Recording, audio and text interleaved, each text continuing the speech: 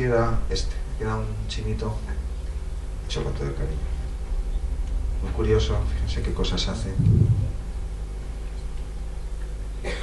Algunos de estos son mudos, como en el caso de los músicos que iremos después. Bastantes de ellos son ciegos, pero todos no, después se lo mostraré.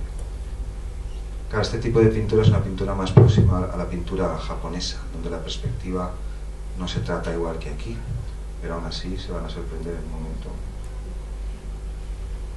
Y si estas personas, aparte de hacer esto, no son competentes en, en casi nada. Algunos saben hacer algunas otras cosas, claro.